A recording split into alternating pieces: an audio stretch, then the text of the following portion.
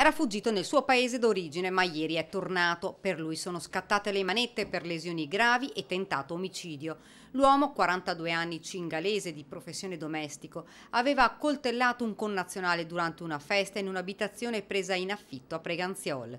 La lite, scaturita per futili motivi, è avvenuta il 3 luglio. La vittima, un 37enne, è stato colpito più volte al torace con un coltello da cucina riperito sul posto. L'uomo è stato poi trasportato d'urgenza in ospedale in condizioni critiche. L'aggressore invece si era reso irreperibile, fuggendo nel suo paese. Ieri è tornato in Italia e atterrato all'aeroporto di Venezia ed è stato subito arrestato dai carabinieri in collaborazione con il personale della Polaria e tradotto in carcere in attesa dell'interrogatorio di garanzia. La vittima, dopo un primo ricovero d'urgenza in prognosi riservata, era stata operata per tamponare la ferita che avrebbe potuto avere esiti mortali. Adesso si trova fuori pericolo.